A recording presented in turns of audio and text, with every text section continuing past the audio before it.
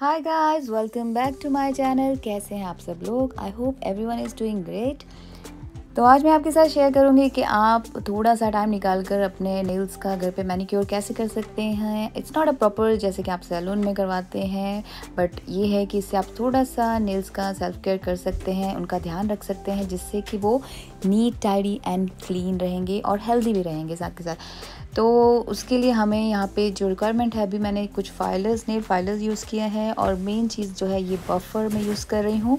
ये बहुत अच्छा काम करता है, ये बहुत ज़रूरी है बफ़र आपके नेल्स को क्लीन कर ले, करने करने के लिए। तो जैसे कि मैं अभी आपको दिखा रही हूँ, इस तरीके से हमें बफ़र जो है उसको जेंटली रब करना होता है नेल्स के ऊपर। जो साइड्स हैं स्पेशली जहाँ डर्ट इकट्ठी हुई होती है समटाइम हम घर के काम करते हैं ईज़िली हमें वो दिखता नहीं है, लेकिन बहुत सारी ऊपर डर्ट इकट्ठी हुई होती है। And we can clean it very nicely by using this buffer तो इसके इस तरीके से साइड्स को एजेस को नेल्स को ऑल राउंड आपको बफ करना है एंड आपके नेल इससे बहुत स्मूथ हो जाता है काफ़ी क्लीन हो जाता है एंड वाइट हो जाता है। ये करने के बाद अगर आप जस्ट नेल्स को शेप करें with a filer nail filer and you can just apply any base coat और transparent nail paint believe me आपके नेल्स बहुत अच्छे लगते हैं। बट अगर आप कोई नेल पेंट दूसरा कोई ट्राई करना चाहते हैं तो वो आप आफ्टर डूइंग दिस आप उसको कर सकते हैं। तो अभी मैं आपको दिखा रही हूँ कि मैं किस तरीके से इनको नेल्स को बफ़ कर रही हूँ। हार्श हमें इसको नहीं करना होता है बहुत आराम से जेंटली हल्का हल्का रब करें इनको। इस तरीके से अभी मैंने नेल रिमूवर जो है वो लेकर उनको नेल्स को वाइप कर दिया है थोड़ा सा तो I can see the difference in both hands because जो राइट वाला है वो भी मैं करूँगी। तो नेल्स जो बफिंग है वो हो गई है। अभी मैं यहाँ पे फाइलर यूज़ करूँगी। I think I need a little bit so I am doing it इससे क्या होता है, जो आपके नेल स्प्लिट हो जाते हैं, टूट जाते हैं तो आप अगर बफे यूज़ करेंगे उसके ऊपर हल्का सा तो वो इवन हो जाता है। उससे आपको नेल को पूरा यू नो काटना नहीं पड़ता है या आप इसको अगर हल्का सा वहाँ रब कर देंगे जहाँ आपका नेल स्प्लिट हुआ है या थोड़ा सा डैमेज हुआ है, आप हल्का सा बफ करें तो वो इवन हो जाएगा। And then apply any nail polish तो वो आपका नेल सिक्योर हो जाता है। तो ये इस तरीके से मैंने दोनों हाथ क्लीन कर लिए एंड देन मैं जो नेल फाइलर है, उसे यूज़ करूँगी। तो नेल्स नॉर्मली हमारे जो, अगर आपको स्ट्रॉन्ग नेल रखने हैं तो उसके लिए हमें थोड़ा सा अपनी डाइट की तरफ़ भी ध्यान देना पड़ता है।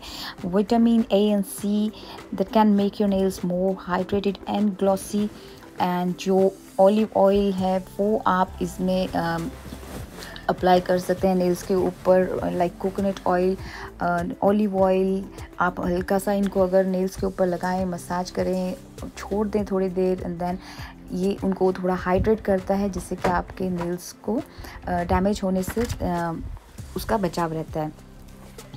तो डाइट में add protein and omega three fatty acid to your diet food like fish nuts beans so you can also take supplements like biotin and fish oil but consult your doctor before तो कोई भी अगर आप supplements nail के लिए लेते हैं तो बेटर है कि एक बार डॉक्टर से कंसल्ट करें then you can go for it तो एंड जब आप कुछ भी घर के काम करते हैं स्पेशली डिशेस जो करते हैं तो ट्राई पांडे जब हम धोते हैं तो ट्राई ट्राई करें क्राई नहीं ट्राई करें कि ग्लव्स यूज़ करें। थोड़ा सा एक्स्ट्रा काम हो जाता है, लेकिन हमारे नेल्स उससे जो है वो डैमेज होने का चांसेस बहुत कम हो जाते हैं। बिलीव मी जो आधे से ज़्यादा जो हमारे नेल्स ख़राब होते हैं, वो इन्हीं चीज़ों से होते हैं, पांडे तो के। तो ठीक है, आगे चलते हैं। तो इस तरीके से मैंने जो है कर लिया है। नेल काफ़ी क्लीन हो गया है।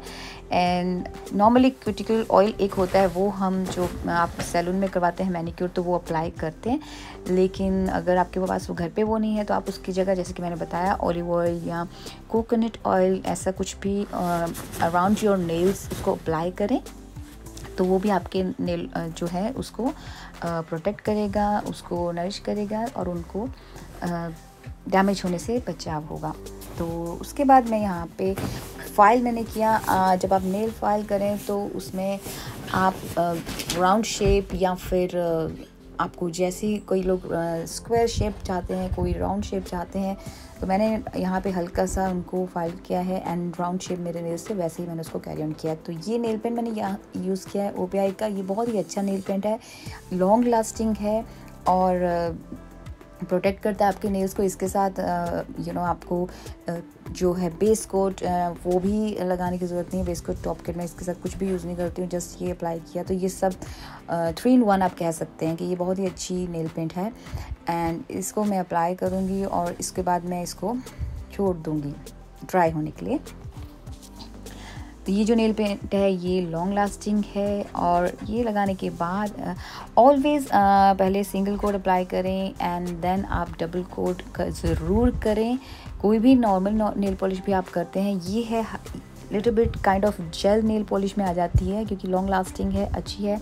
नॉर्मली अगर आप कोई भी नॉर्मल uh, पॉलिश घर पे जब अप्लाई करें तो ऑलवेज़ ऑलवेज़ डबल कोड करना बहुत ज़रूरी है to secure your nails and for their long lasting life तो ये था मेरा आज का वीडियो आई होप आप लोगों को अच्छा लगा. अगर अच्छा लगा तो प्लीज़ की वीडियो लाइक मिलते हैं नेक्स्ट वीडियो में. देन